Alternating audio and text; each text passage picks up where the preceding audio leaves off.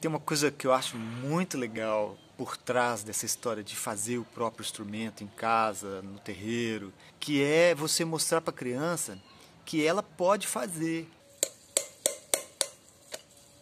Você abre uma janela para ela, dizendo: olha, faça o seu também. Elas se aproximam muito, se identificam muito com o instrumento, porque exatamente é uma coisa que está ao alcance delas. É só a gente ajudar e ensinar.